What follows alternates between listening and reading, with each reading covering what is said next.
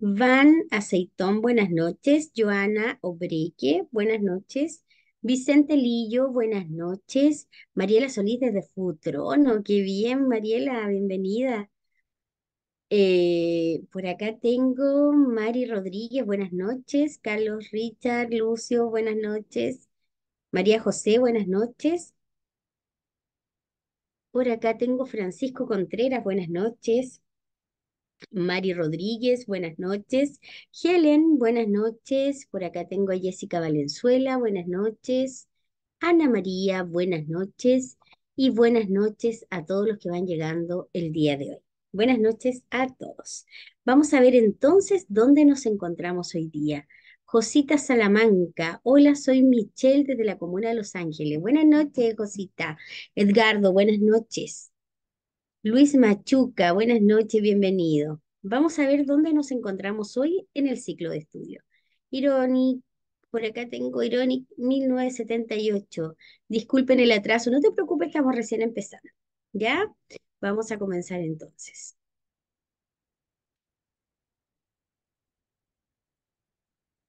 Aquí está el ciclo de estudio como ustedes ya saben, muchos de ustedes ya, me han acompañado durante la primera semana del ciclo de estudio, que corresponde a los cinco primeros capítulos del libro del conductor.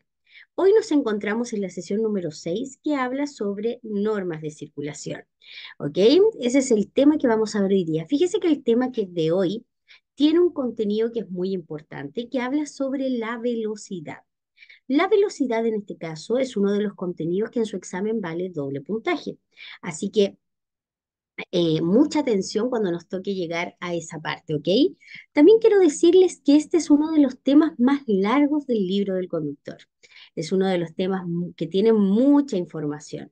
Por lo tanto, como es tanta información, yo me voy a centrar hoy día en la clase sobre los contenidos más importantes de este capítulo y por supuesto es un capítulo que merece un nuevo estudio, una nueva lectura y que ustedes por supuesto realicen muchos test de este mismo capítulo.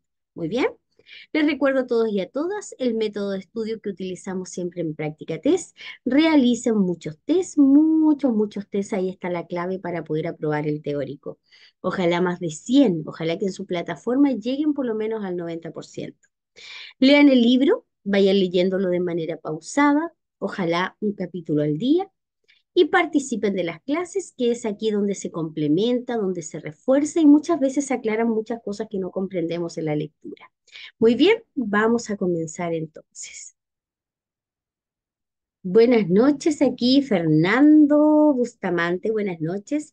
Manuel Mendoza, buenas noches, profesora. Le cuento que aprobé el examen con 38 puntos. Qué seco, Manuel. Excelente. Muchas felicitaciones, Manuel, de todo el parte de todo el equipo acá de, de Práctica Test. Muchas felicitaciones. HP, buenas noches. Jesús, buenas noches. Por supuesto, todas las las buenas vibras, Manuel, para que te vaya bien. No sé si ya terminaste el examen, todavía te falta el práctico, pero que te vaya súper, súper bien en el proceso que continúa. Edgardo, estoy en Venezuela, profesora. Aquí estoy estudiando para cuando vuelva a estar listo. ¡Oye, Edgardo! Mira de dónde me está escribiendo. ¡Ay, qué bueno! ¡Qué bueno! Siga estudiando nomás, pues. Que le vaya, para que le vaya súper bien. Buenas noches, Priscila. Esther Solís, buenas noches. Vamos a comenzar entonces. Hoy día, sesión número 6, normas de circulación.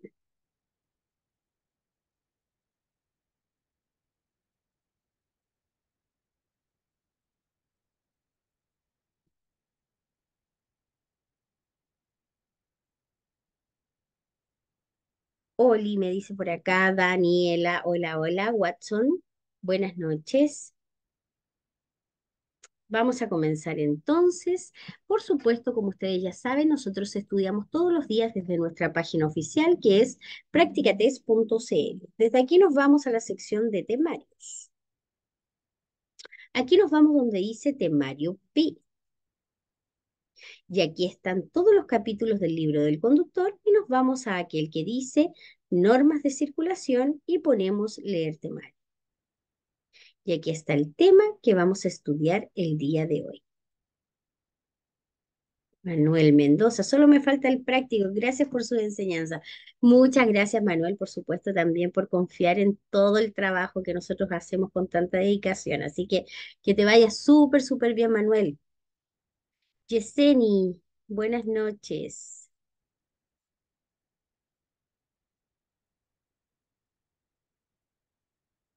Perfecto. Normas de circulación.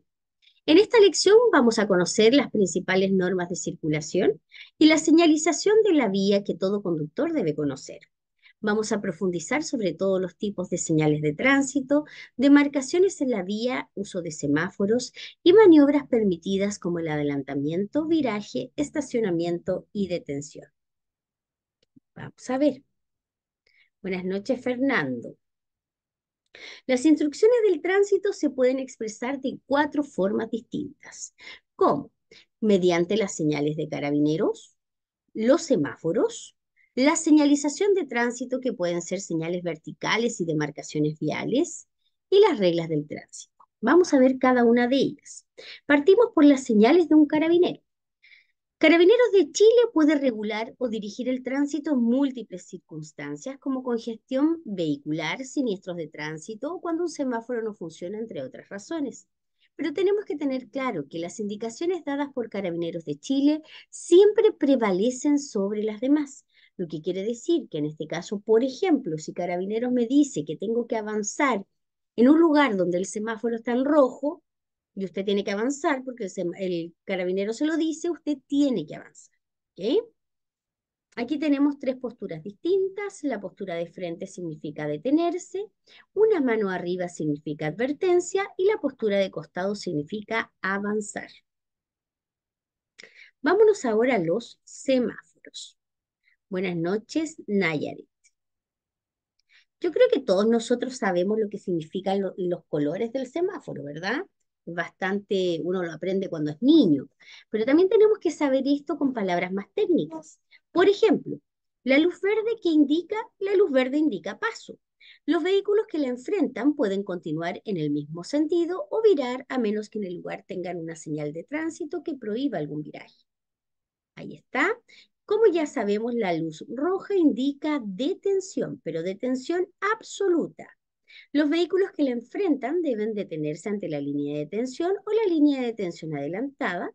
En su caso, no deberán avanzar, por supuesto, hasta que se encienda la luz verde. Y la luz amarilla indica prevención. Los vehículos deben detenerse antes de entrar al cruce, ya que la luz amarilla advierte que la roja va a aparecer a continuación. Ahí tenemos la luz amarilla. Existen otros tipos de semáforos como estos que vemos en la imagen que son luz roja y flecha verde. En este caso, las, los vehículos que enfrenten estas luces podrán entrar cuidadosamente al cruce, pero solo para continuar en la dirección indicada por la flecha, y deberán respetar a los peatones que estén cruzando, así como los demás vehículos que estén circulando reglamentariamente. Muy bien. Por lo tanto, tenemos que hacer el, o efectuar el viraje para donde nos vamos a nos tenemos que ubicar, ya sea a la derecha o a la izquierda, y cuando se encienda esta luz, puedo efectuar en este caso ese viraje. El semáforo con cabezal para ciclistas, como vemos en la imagen. Cuando existe una ciclovía, esto es una senda destinada específicamente a la circulación de ciclistas. Los cruces semaforizados pueden tener cabezales para posibilitar el cruce seguro a estos usuarios. Por lo tanto, aquí, por supuesto, los ciclistas son los que tienen, por supuesto, la preferencia. Existen también los semáforos peatonales. Los semáforos no solamente son utilizados para regular la circulación de vehículos y peatones en las intersecciones, también suelen instalarse en lugares específicos de algunas vías con el propósito de permitir a los peatones cruzar con seguridad. Estos semáforos normalmente son activados por los mismos peatones. Son aquellos semáforos que incluso tienen un botón que si tú lo presionas pasan unos segundos y por supuesto se activa la luz verde. Muy bien. Existen también algunos semáforos con cruces o en cruces ferroviarios. Existen también lugares donde las calles o caminos se cruzan con vías férreas. No obstante, que todos estos lugares de cruce son particularmente peligrosos, algunos de ellos, dadas sus características de mayor peligrosidad, están provistos de señales luminosas que se activan automáticamente ante la proximidad de un tren y que pueden estar acompañadas de señales acústicas o también con barreras. Muy bien, acústica a qué se refiere, que además de efectuar esta, esta luz, también, por supuesto, tienen un sonido particular que te dice cuando se acerca o no, o se acerca en este caso el tren. Ahí tenemos, por supuesto, unos videos explicativos sobre los semáforos. Llegamos ahora a las señales del tránsito. Las señales del tránsito indican a los conductores y usuarios en general la forma correcta y segura de hacer uso de las vías. Se utilizan símbolos para facilitar su lectura y se clasifican de la siguiente forma. Las señales reglamentarias indican una prohibición o mandato. En este caso, las señales reglamentarias las vamos a asociar con el color rojo del semáforo. ¿Por qué? Porque también indica el color rojo del semáforo una detención absoluta. En este caso nos indican una prohibición o mandato y además están eh, encerrados, en este caso, en una orla que es de color rojo. Muy bien. Las señales de advertencia de peligro nos advierten sobre peligros existentes, al igual que el color amarillo del semáforo, y además están inscritas en un fondo de color amarillo. Y tenemos las señales informativas que nos entregan información importante. En este caso, la podemos asociar al color verde del semáforo, pero también pueden ser de color café o de color azul. Muy bien. Vamos con las primeras que son las reglamentarias. Las señales reglamentarias notifican a los usuarios de la vía acerca de las prioridades, prohibiciones, restricciones, obligaciones y autorizaciones. En general, son de forma circular o rectangular teniendo símbolos y o números inscritos dentro de un círculo u orla de color rojo. Y aquí están algunas de ellas. en realidad están todas, pero en este caso, ustedes deberían saber qué significa cada una de ellas. Generalmente, cuando uno ya conduce, uno las va viendo y sabe lo que significan. Pero en este caso, es muy importante que ustedes las estudien y que se aprendan el significado de cada una. Nosotros las tenemos disponibles en nuestra página y también las pueden encontrar en el libro del conductor. ¿Muy bien? Llegamos ahora a las señales de advertencia de peligro. Advierten la existencia de peligros o riesgos permanentes. Con la excepción de la denominada Cruz de San Andrés, tiene su forma de un cuadrado con una de sus diagonales colocada verticalmente. Su color de fondo es amarillo y su símbolo es de color negro. En este caso, como ya dice la lectura, nos advierten sobre peligros o riesgos permanentes, o sea que siempre van a estar ahí. Por lo tanto, tenemos que estar muy atentos cuando aparecen estas señales. Por supuesto, aquí están las señales de advertencias disponibles en nuestra página. Por ejemplo, curva, curva y contracurva cerrada a la derecha, pendiente fuerte, resalto, ubicación de resalto, puente angosto, etc. Y la que dice aquí ferrocarril es la llamada Cruz de San Andrés. Muy bien, aquí están muchas, todas de, todas de hecho, así que es muy importante que ustedes, por supuesto, las estudien y se las aprendan. Buenas noches, Saray. No te preocupes, Saray. Las señales informativas orientan y guían a los conductores para que puedan llegar a sus destinos de manera segura, simple y directa posible.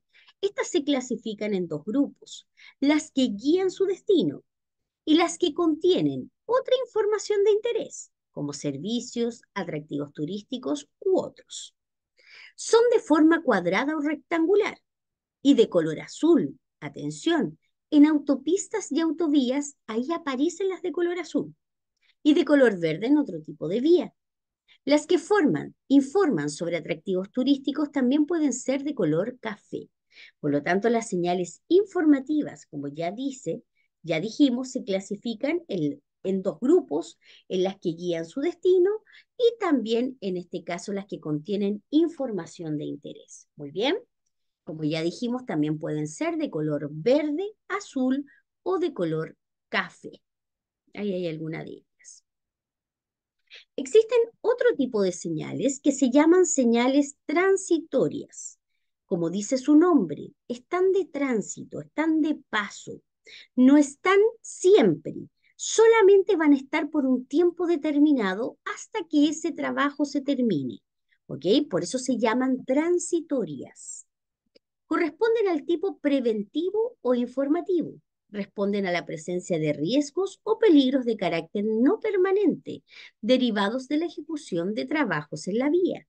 Estas son principalmente de color naranja, con la excepción de la primera señal que advierte sobre trabajo, que es de color amarillo, ya que también significa una advertencia. Modere su velocidad en zonas con trabajo, si es necesario, redúzcala. La eventual presencia de trabajadores, materiales como arena, piedra, ripio, incluso maquinaria, pueden ser de gran riesgo. Y aquí están algunas de ellas.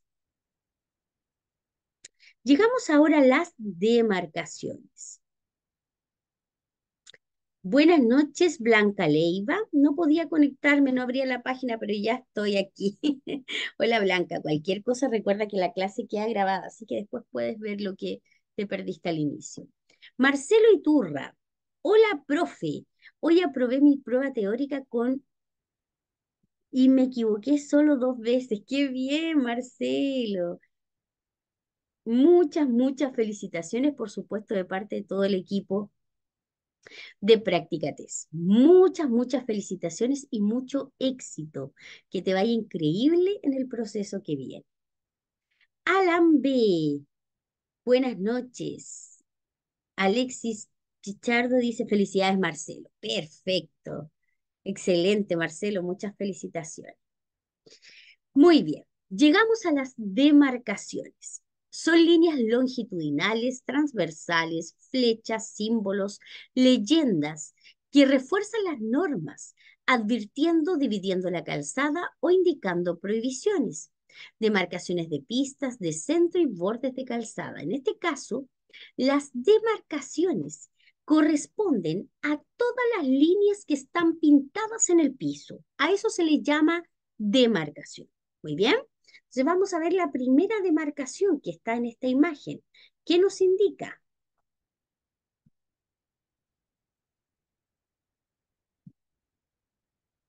¿Qué nos indica?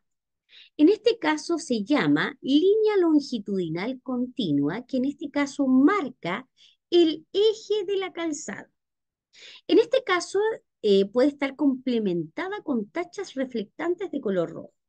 Le indica que no existen condiciones de seguridad o insuficiente visibilidad antes de una curva o ante un cambio de rasante, por ejemplo, para que pueda ser traspasada. En este caso, esta línea me está marcando el eje de la calzada y es una línea continua que me está indicando que yo no cuento con la suficiente visibilidad para poder hacer, por ejemplo, un adelantamiento, porque no tengo la visibilidad suficiente.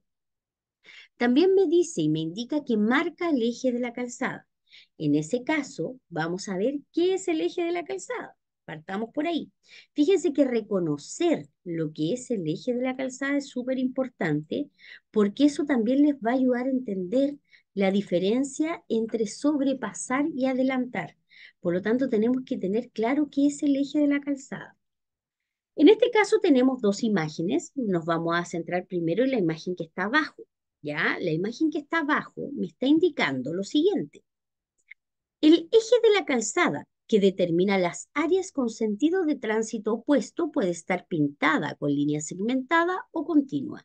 En este caso, la línea central que vemos en la imagen de abajo me indica, esa línea se llama eje de la calzada. ¿Pero por qué se llama así? Porque en este caso, o en esta imagen, está dividiendo la calzada en dos sentidos de tránsito opuestos. Por eso se le llama eje de la calzada. En cambio, en la imagen que tenemos arriba, el eje de la calzada principalmente no está demarcado y puede ser imaginario. Tenemos que imaginarlo. En este caso, la división de la calzada es en dos partes iguales. O sea, en este caso, si se fijan, tenemos dos caminos, un camino que va y otro camino que viene. Al centro de estos caminos tenemos unas barandas de contención. Podríamos decir que entre estas dos barandas podría estar una línea imaginaria que sería el eje de la calzada, que en este caso está dividiendo estos dos caminos. Por lo tanto, es una línea imaginaria. Cuando aparece la palabra eje de la calzada, siempre te va a indicar que esa calle o camino es de tránsito o sentido opuesto. Muy bien. Eso es muy importante que usted lo reconozca porque esa definición nos sirve para poder comprender después qué es un adelantamiento y qué es un sobrepaso. Acá en este caso tenemos otra línea, que es la línea acá tenemos la línea longitudinal segmentada, que marca en este caso el eje de la calzada. Cuando es segmentada, usted podrá efectuar un adelantamiento traspasándola siempre que previamente verifique que se dan las condiciones de seguridad necesarias para ello. La línea segmentada puede estar acompañada de tachas de color blanco. En este caso, tenemos aquí. Esta línea entrecortada o también segmentada me indica que yo sí puedo efectuar un adelantamiento, ya que cuento con la suficiente visibilidad para poder realizarlo. Muy bien. Aquí tenemos otro tipo de demarcación. Esta demarcación que usted ve en este caso es una demarcación que se llama línea de detención. Es donde se tienen que detener los vehículos antes de un paso peatonal. Generalmente la línea de detención está ubicada a un metro o un poco más del paso peatonal. Esta línea o estas líneas que ustedes ya conocen se llaman paso. Esto es un paso peatonal o también se le llama paso de cebra. ¿Ok? Que es un sector que está destinado principalmente al tránsito de peatones y que los conductores tenemos que estar alerta para detenernos en cualquier momento cuando nos encontramos con esta línea, estas líneas, ¿ok? Y aquí tenemos, por supuesto, la demarcación, que son cuadrados de color amarillo que indican no bloquear cruce. O sea, yo no puedo quedarme detenida encima de estos cuadrados. No puedo porque de alguna forma, eh, cuando aparecen estos cuadrados o esta señal de no bloquear cruce, generalmente se ubica al centro de un lugar donde hay varios semáforos que indican la dirección de los vehículos que tienen que avanzar, imagínate te quedas parado al medio, vas a armar un taco tremendo o es bastante peligroso ya que podrías causar un siniestro. Estas líneas también las puedes encontrar afuera de los servicios de emergencia, carabineros, bomberos, eh, PDI, hospitales, eh, SAPU, eh, clínicas, etcétera. Siempre te vas a encontrar con estas líneas que te indican que por ahí solamente tienes que pasar y no te tienes que detener, ¿ok? Aquí tenemos otras demarcaciones que vemos, por ejemplo, en esta imagen, que indican flechas hacia donde yo tengo que ir. También tenemos un sedal paso que está pintado al centro. Tenemos también una zona achurada que me dice que no tengo que detenerme tampoco en ese lugar. Muy bien, y ahí tenemos una imagen explicativa. Y ahí tenemos, por supuesto, una imagen que indica, ahí tenemos un cruce, efectivamente por donde va pasando el taxi. ¿Ya? Ahí, por supuesto, no podríamos quedar detenidos por ningún motivo. Otras obligaciones de ceder el paso. Vamos a ver. Siempre es obligatorio ceder el paso cuando se aproxime un paso de cebra en el que alguien se disponga a cruzar. Claramente que sí. Al incorporarse a la circulación desde una vía particular, desde un inmueble o un estacionamiento. En este caso, si usted va saliendo, por ejemplo, de un edificio donde hay eh, departamentos y usted se tiene que incorporar a la carretera, por supuesto que tiene que dejar que pasen los vehículos y esperar que se abra un espacio, una brecha segura para poder pasar perfectamente por ahí, o sea, o incorporarse a la carretera. También tenemos que ceder el paso cuando nos ponemos en marcha después de una detención. Al salirse de la circulación, para ingresar a una vía particular, a un estacionamiento o a un inmueble. Cuando la pista por la cual circula se ve sorpresivamente obstaculizada, usted también carece de prioridad frente a los demás vehículos para poder cambiarse de pista. En este caso, por ejemplo, ¿a qué se refiere? Imagínate tú vas en carretera y justo el vehículo que va delante tuyo tuvo un, se le pinchó una rueda, ya se le pinchó un neumático. Y el vehículo comienza a bajar la velocidad hasta detenerse y tú quedaste detrás de él. En ese caso, tienes, y tú deberías cambiarte de pista para continuar tu camino, pero en ese caso tienes que ceder el paso a los otros conductores, ya que ellos tienen preferencia, y esperar que se abra una brecha segura o un espacio para poder incorporarte, en este caso, a la carretera. Muy bien. Profe, el triángulo con demarcación en el suelo, en la calle, es un ceda al paso. También, sí, Giselle, es un ceda al paso. Exactamente. Y aquí tenemos, por supuesto, un video y otro video explicativo. Llegamos a los, a los vehículos de emergencia.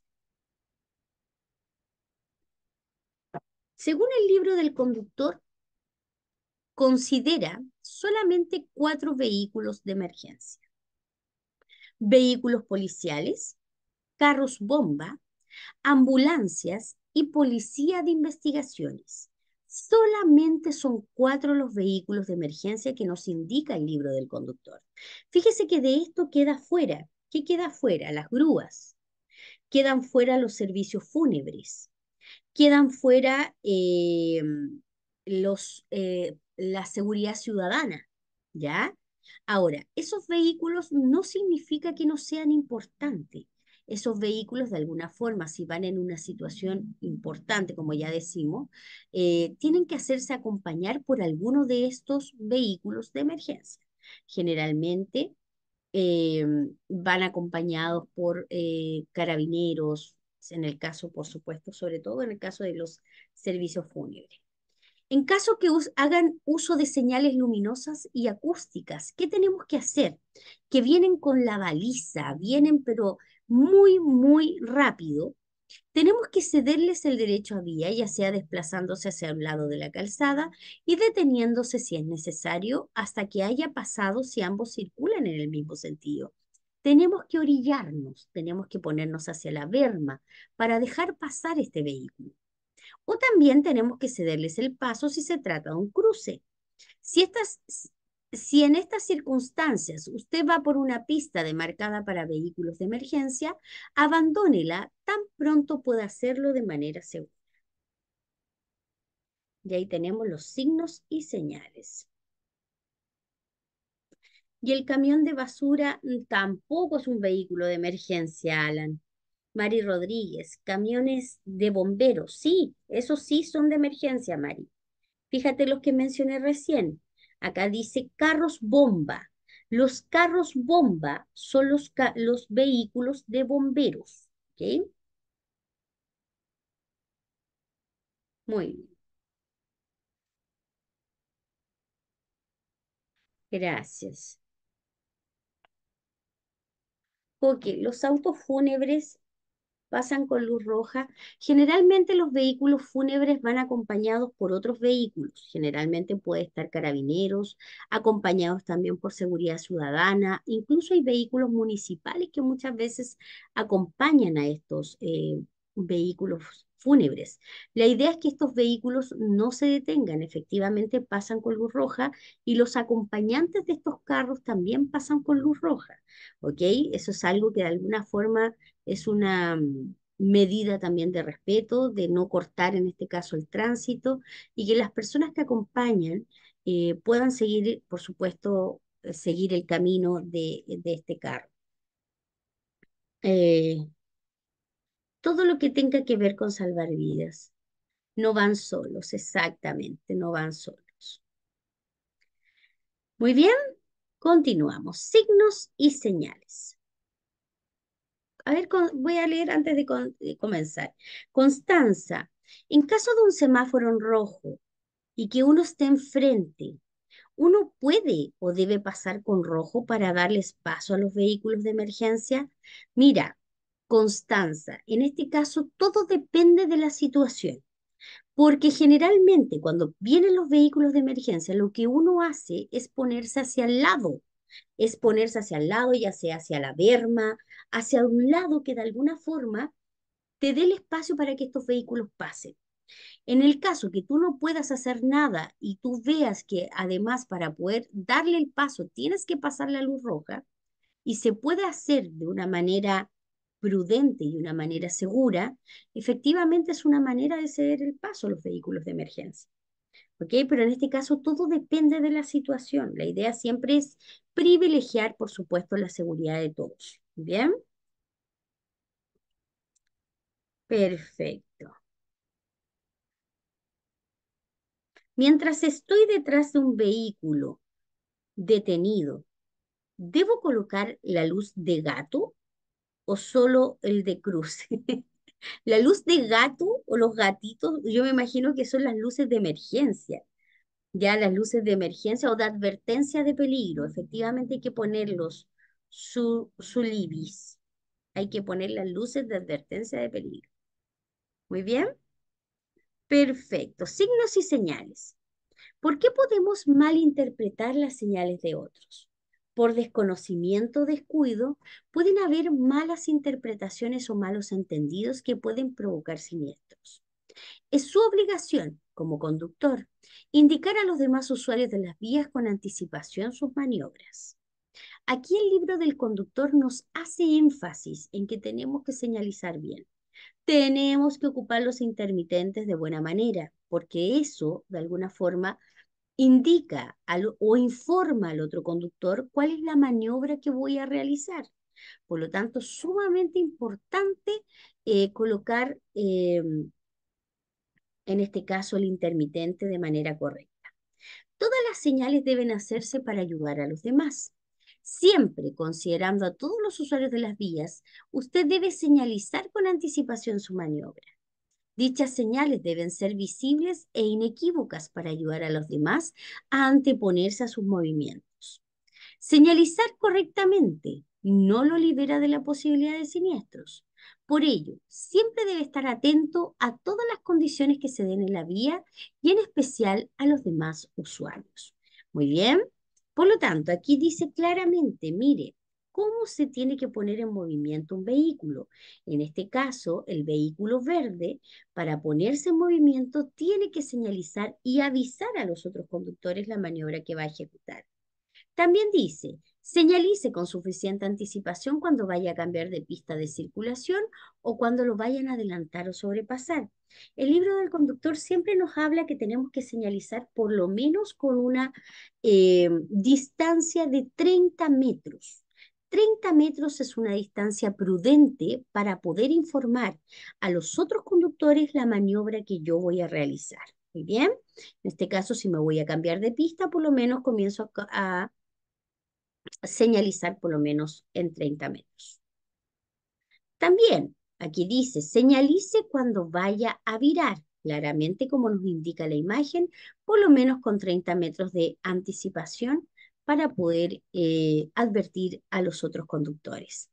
Espejo, señalización y maniobra es la secuencia que debemos seguir antes de cada cambio de tensión e incorporación en las vías.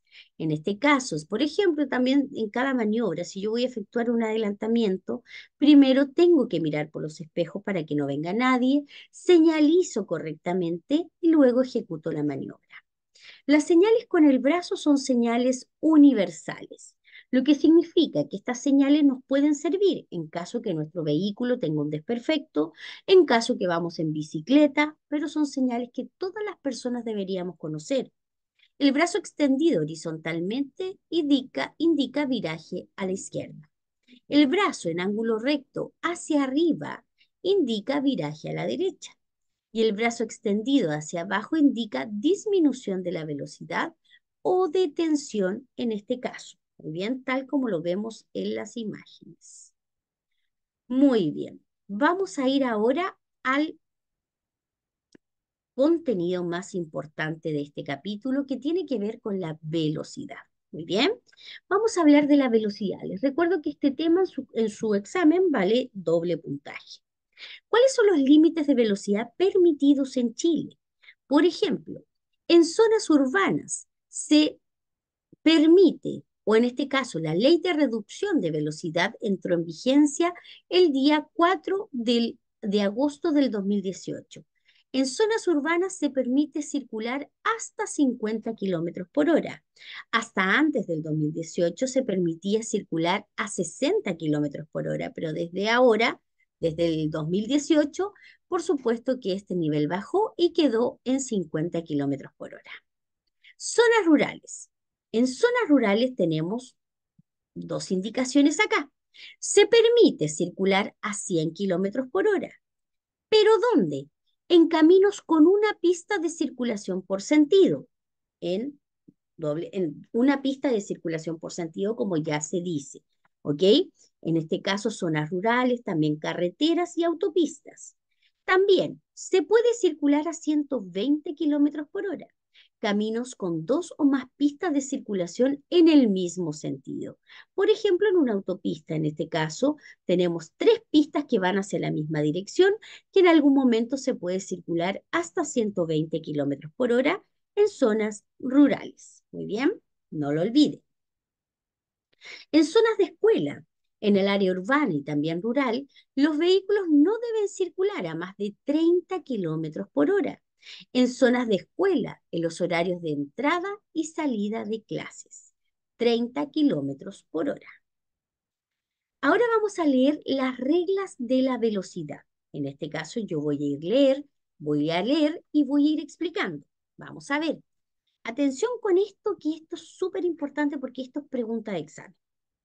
Una velocidad adecuada significa que usted en situaciones arriesgadas va lo suficientemente lento como para poder dar preferencia a otros, aunque las normas no se lo exijan. Usted nunca debería chocar. ¿Por qué? Porque en este caso el libro del conductor nos indica que tenemos que ir siempre a una velocidad que me permita frenar con seguridad. Cuando tenga la obligación de ceder el paso, reduzca la velocidad con tiempo hasta detenerse si fuera necesario, para que los demás comprendan claramente que usted va a darles la preferencia. No olvide que tiene que adaptar su velocidad a las condiciones reinantes en cuanto al pavimento, al clima, la visibilidad, al estado del vehículo, a su carga y a la intensidad del tráfico.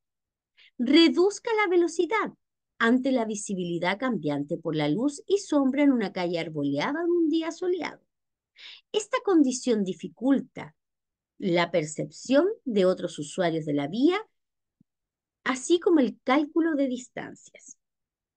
En este caso, siempre cuando hay una situación adversa, que puede ser por el clima, que puede ser por la intensidad del tráfico, que puede ser porque llevo el vehículo cargado, sobrecargado, en este caso, cuando hay una situación adversa, siempre tengo que bajar la velocidad. Peligros ocultos. Usted tiene que poder detenerse ante cualquier obstáculo imaginable como conductor Cuente siempre que puede haber alguien o algo detrás de un auto estacionado, detrás de un arbusto o después de la próxima curva, y es una capacidad que hay que entrenar. ¿Cuáles son nuestras limitaciones? Usted no debe conducir nunca a una velocidad tal que le, que le impida controlar su vehículo. Gran parte de los conductores creen ser mucho más hábiles de lo que son en realidad y por lo tanto conducen a la velocidad mayor que aquella que su capacidad les permite. Muchos siniestros en carretera ocurren en solitario.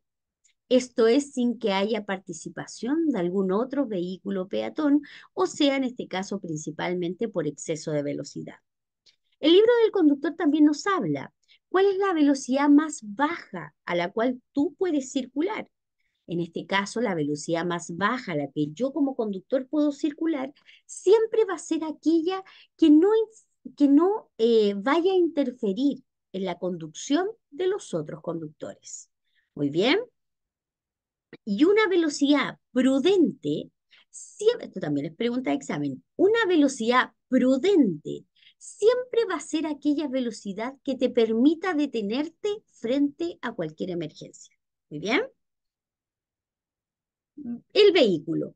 La conducción varía de un automóvil a otro. Por ello, por eso siempre es importante que usted conduzca con calma un vehículo que le hayan prestado y que no conozca bien. La carretera. Usted tiene que adaptar su velocidad a las condiciones y aspecto de la carretera. En un camino con ripio o grava, la distancia de frenado es significativamente mayor que en una carretera asfaltada. El asfalto mojado es más resbaladizo que el seco.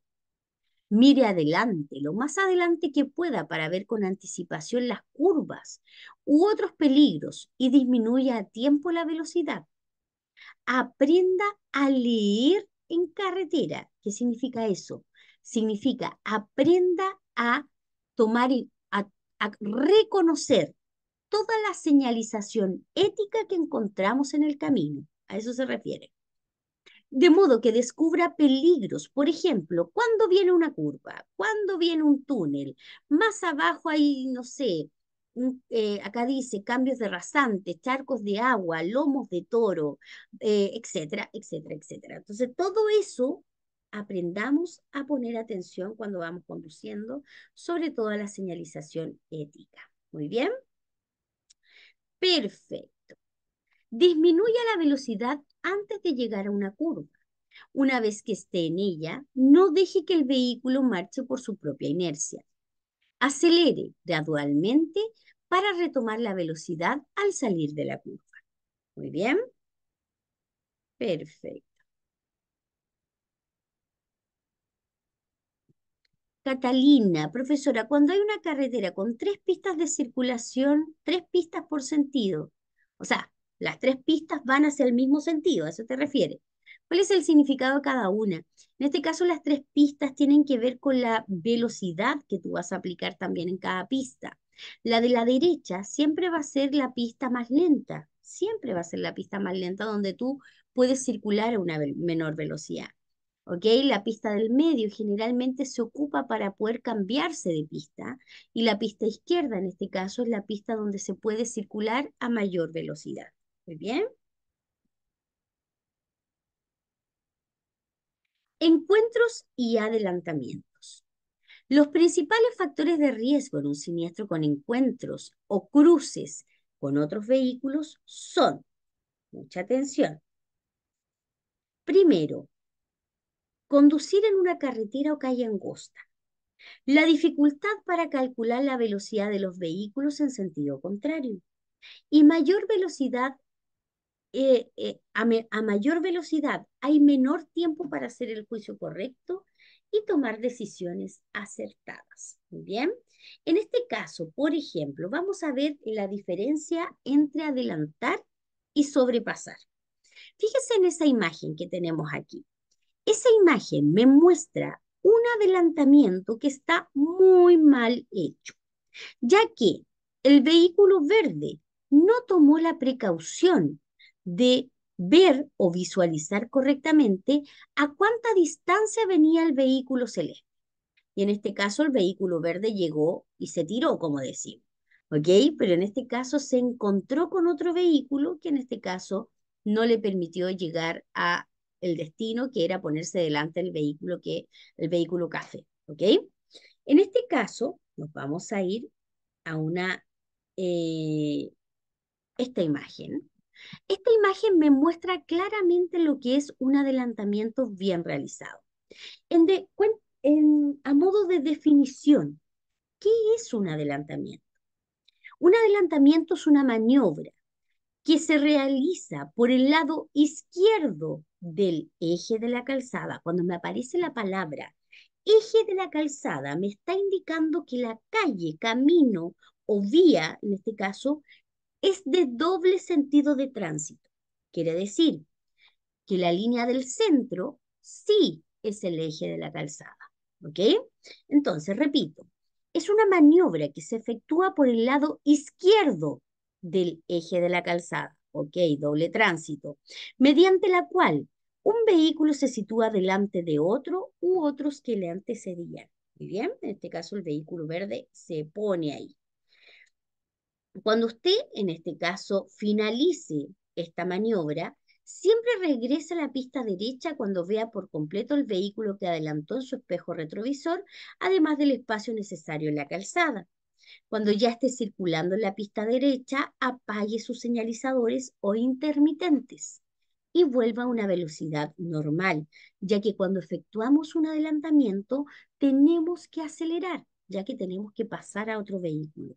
Por lo tanto, el adelantamiento siempre se realiza en calles o caminos de doble sentido de tránsito y donde y siempre se efectúa por el lado izquierdo del eje de la calzada. ¿Ok? Nos vamos ahora a un sobrepaso.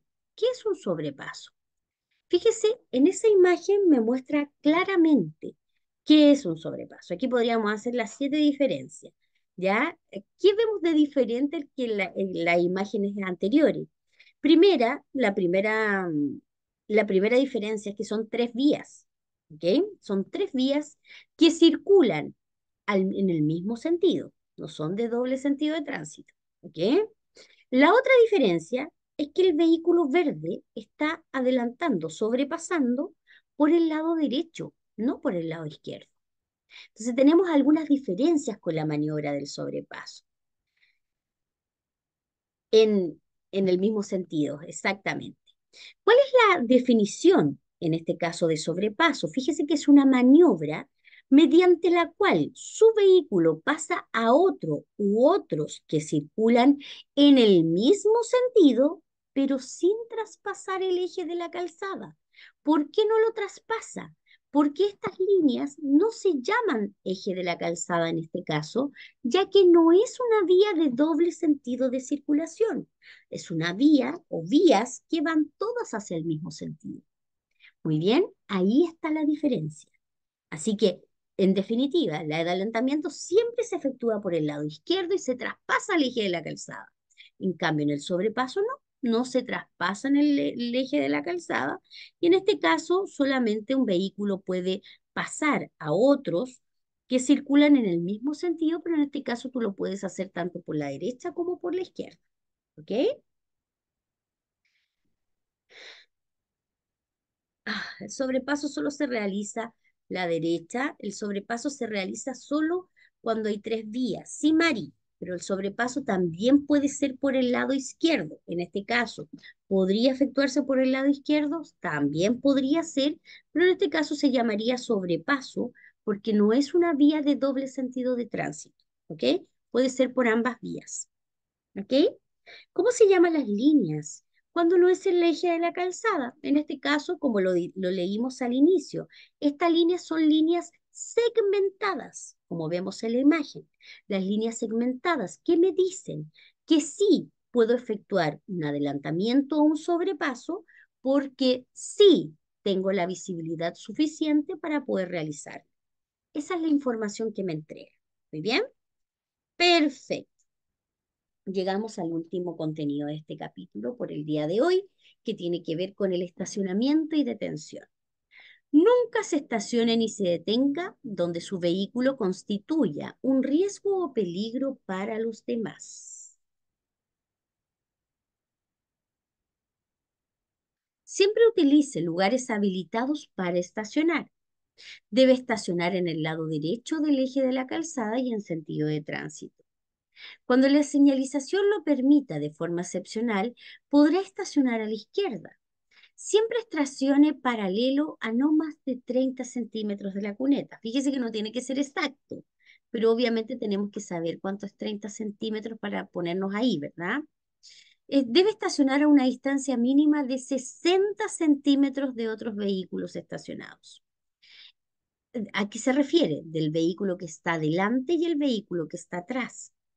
Estacione completamente su vehículo sobre la berma en caminos y vías rurales. Cuando no exista berma, estacione siempre al lado derecho, lo más cerca posible de la cuneta. Muy bien. ¿Cuáles son las señales que regulan el estacionamiento o detención? Buenas. Por acá me dice, Alan, maestra, yo tengo una duda con la detención en paradero. ¿Cuál es la duda, Alan? Miren acá. Generalmente, ¿cuáles son las señales que regulan el estacionamiento y de atención? La letra E con una X de color rojo encima, que en el lugar que esté puesta esta señal usted no deberá estacionar ni detenerse para tomar o dejar pasajeros. En este caso, más abajo vemos solamente la letra E con una línea encima, pero en este lugar no se puede estacionar. Pero fíjese que usted sí podría tomar o dejar pasajeros. yo siempre me acuerdo de mm, acá en el aeropuerto de Santiago, hay un lugar en la parte de los vuelos nacionales donde generalmente uno sube a dejar a, a, la gente, a los familiares que van a viajar, y tú te, te, eh, te detienes rapidito, se bajan, se bajan y tú te vas. ¿Ok? En este caso es una letra E con una línea encima. En el caso que estuviera la letra E con una X bien roja encima, eso no se podría hacer. Muy bien. En los lugares en los que se permite el estacionamiento de cualquier vehículo se indica con esta letra E que tiene un fondo azul.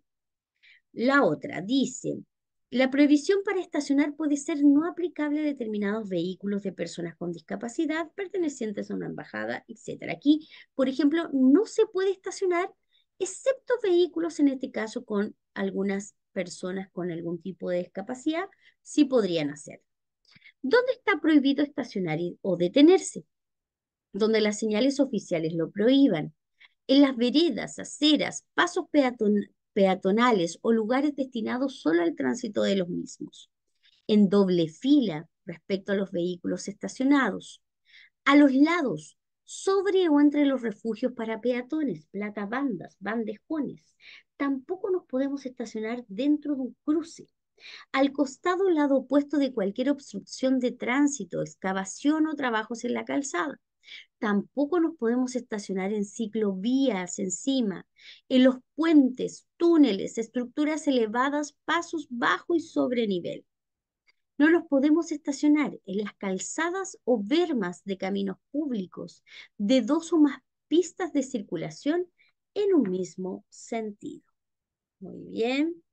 Perfecto, queridos estudiantes, hoy día llegamos hasta aquí. Les comento que al final de este capítulo ustedes van a encontrar, por supuesto, la normativa legal que sustenta todo el contenido del capítulo. Tenemos un video de apoyo del profesor Anthony, él es un profesor, nuestro instructor en este caso de la Escuela de Conductores Práctica Test. Muy bien. Y finalmente el test de la unidad. Muy bien. Si voy por la vía derecha con tránsito detrás mío y necesito parar para dejar o recibir pasajeros en el espacio que sirve como paradero, pero está todo el espacio ocupado, todo el espacio ocupado por una micro podría ser, Alan, ¿qué debería ser en ese caso? El paradero o los paraderos, en este caso, o las paradas de buses tal como se dice, son para eso, para paradas de buses. ¿Ok? En este caso, los que tienen prioridad son los buses. Por lo tanto, si usted va a dejar pasajeros o tomar pasajeros, usted tiene que esperar que ellos se vayan o estacionarse más adelante o más atrás de ese paradero. Pero en este caso, las paradas o paraderos son más bien paradas de buses. Ellos son los que tienen prioridad. ¿Ok? Perfecto. Muy bien. Vamos a ver entonces algunas preguntas de este tema. Ustedes, por supuesto, me responden en el chat la respuesta que ustedes consideren que es correcta. Primera pregunta. Cuando usted efectúa una maniobra, debe indicarla a lo menos con anticipación de A, 30 metros, B, 10 metros, C, 5 metros.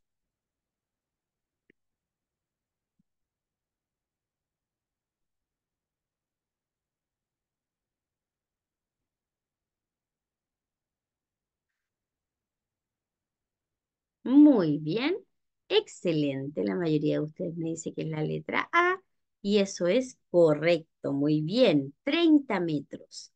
Siguiente pregunta. Usted va conduciendo en la ciudad por una calle de con dos pistas de sentido único de tránsito. A menos que alguna señal le indique otra cosa, usted no debe exceder los A. 50 kilómetros por hora. B. 80 kilómetros por hora. C. 30 kilómetros por hora. D. 60 kilómetros por hora.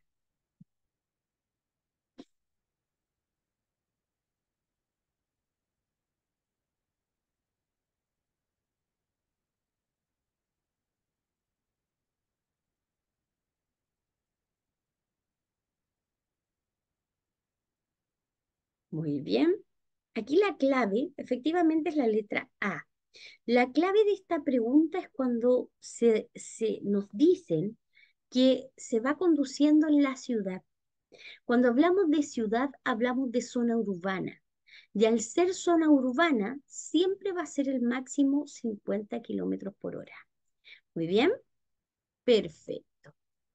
La velocidad más baja a la que se puede circular es A, 50 kilómetros por hora. B, la que decida el conductor. C, la que no impida desplazamiento normal y adecuado de los demás vehículos. D, 20 kilómetros por hora.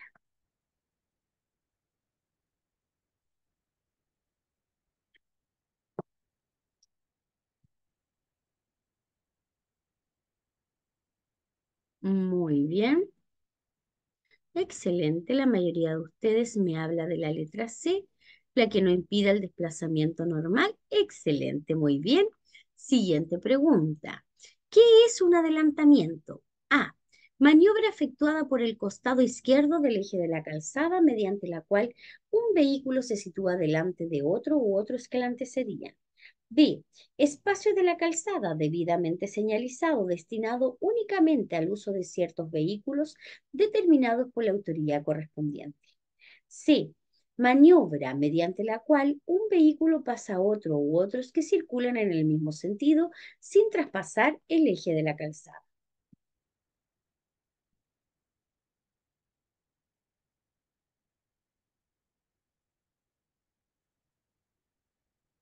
Cuidado, atención con la pregunta. Algunos de ustedes me marcan la letra A, otros me marcan la letra C. Letra A. Recuerden que la pregunta es adelantamiento. Por lo tanto, la respuesta correcta es la letra A. ¿Por qué la A?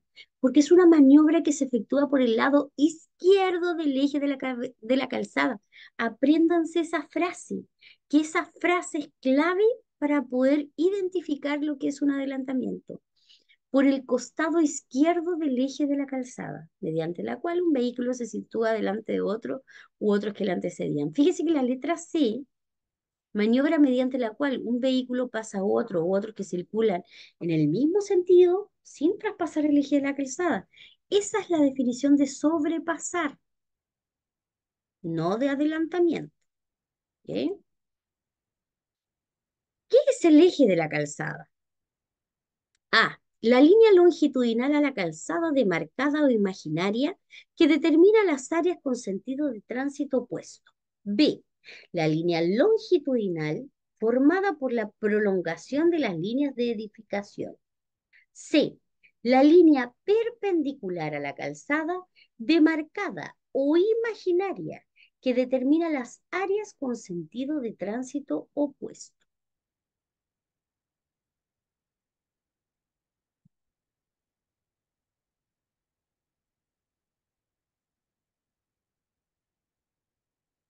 Perfecto, marque, marque, marque.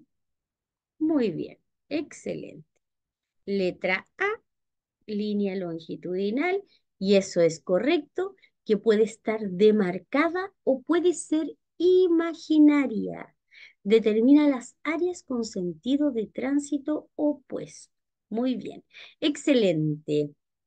Felicitaciones quienes tuvieron todas sus respuestas correctas. Les cuento que mañana, ¿qué nos toca?